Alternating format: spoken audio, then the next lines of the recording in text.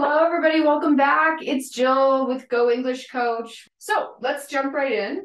Um, so aspiration is easily defined. I'm just going to grab a piece of paper as a example here. And what we're saying is aspiration is when air comes through your mouth. Okay, so when I say these three sounds, you're going to see that the paper moves. So, okay, I'm exaggerating it. We don't give you that much air, right? But we do push air through our uh, mouth. Okay, so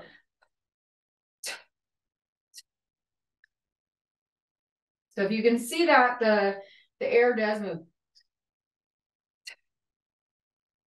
Okay, P is probably the strongest with the most air coming out, and then T and K a little less so. Okay. So here are kind of just two general rules of when we aspirate, okay? And the first one says when a word begins with P, T, or K, we pronounce the sounds with aspiration, okay?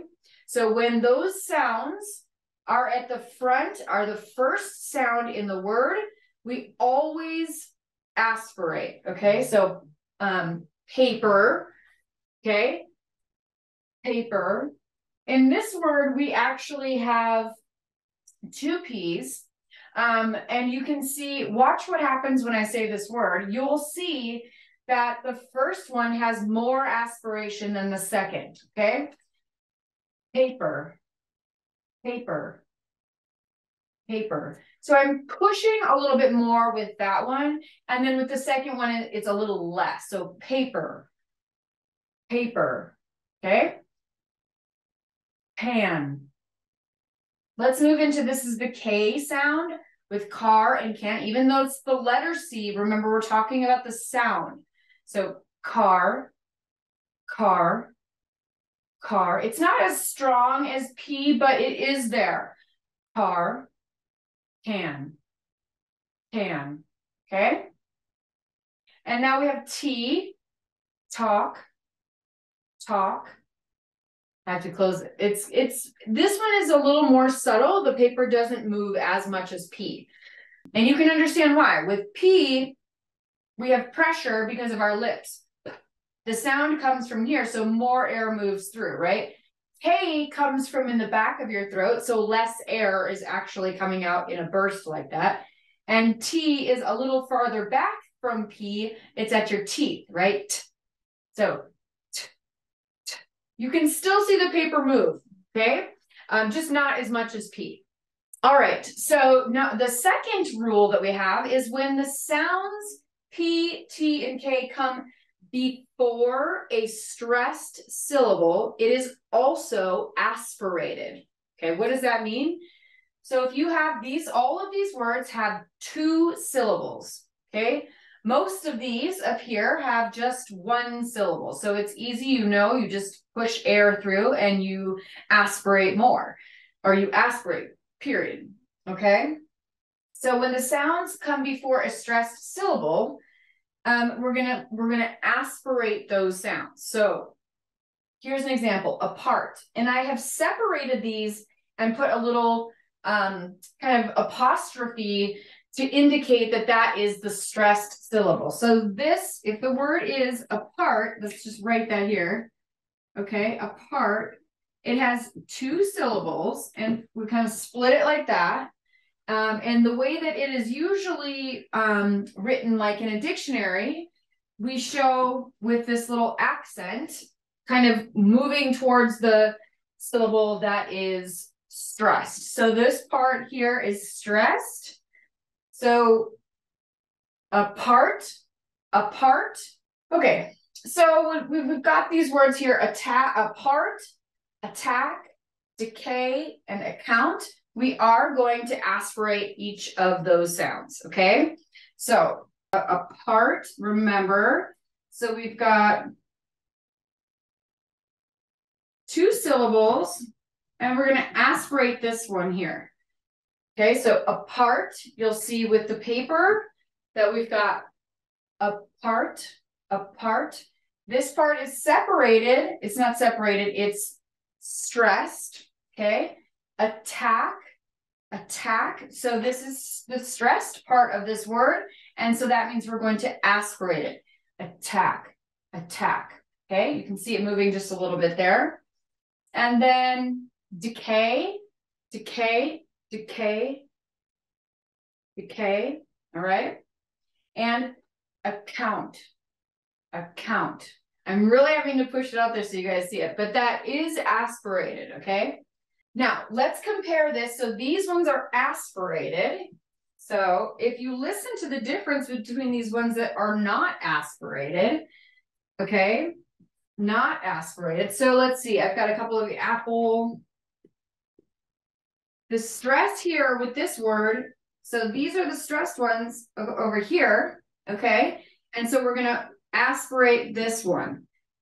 This is the stress right here. We're going to aspirate this. This part is stressed because it starts the stressed syllable. We're going to aspirate. So if it starts the stress, the stressed syllable, we will aspirate. Okay, I'm going to write this here and then I'm going to get out of the way so you guys can see what I'm writing. So with these, you have apple. The stress is on the first one. So this one is not stressed. And therefore, we are not going to aspirate it. So we've got apple, we've got attic, attic, and then we've got, let's see, decadent, decadent. Okay, first let's go ahead and find which of the word or which of the syllables are stressed. We have apple. So here's an example.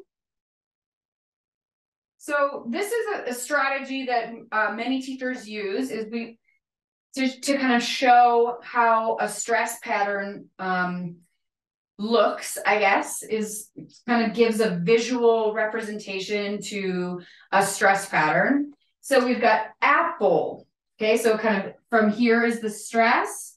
Apple. Okay, apple. So you can kind of see more visually how the stress pattern works. So we've got add attic. Okay, attic, it's stressed up here. We don't really need these dots because the, the part where it's higher shows that your voice goes up. Remember, when we stress a syllable, what does stressing mean? What happens with a stressed syllable with our voice? When something is stressed, we say it um, louder, longer, and more clearly and sometimes with a higher pitch.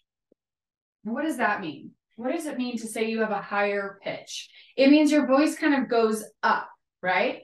So going back to our list here, we've got apple, apple. This first syllable is stressed. The second one is not stressed. It kind of goes apple. That's what I've got here, apple. So right, if we write that out, apple. Okay, that's kind of the visual representation of that. Attic is the same thing. We've got attic. Okay, attic.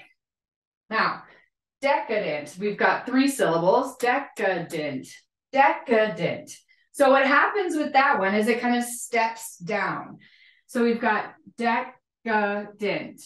But the stress, so we've got a primary stress, which is up here and then kind of a second step down. So de, ka, dent. Okay. And the reason that we use this stair step is A, just to kind of see it, but there's other things that happen when we start paying attention to syllables and stress, okay? So what happens here, when we're talking about aspiration, we've got air moving through our mouth. So with the sound P, paper, paper, okay? So then if we're looking at these ones where we do, this part is stress, we've got, okay, so uh, part, okay, uh, part. This might be kind of difficult to see for the smaller camera here, so sorry, you guys can, um, uh, tack, okay? Um, de decay. So it's decay. Okay. And account. Uh, count. Okay. So these are opposites, right? What happens here is we've got an unstressed syllable and then the stressed syllable, okay?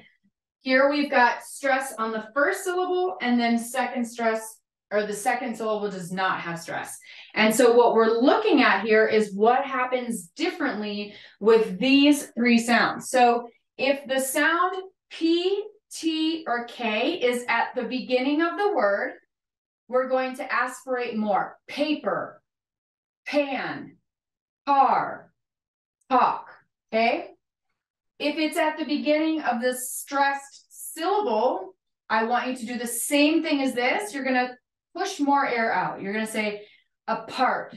Look at the paper. Apart, attack, decay, account. So the second syllable has the sound and we're going to aspirate that. Now, something happens a little differently when the syllable that has P, T, or K is not stressed, which is this case in these three words. You're just going to say the sound, apple. Okay, apple, apple. There's really no air coming out, so you're not aspirating. Okay, apple, attic, decadent. Okay, does that make sense, you guys?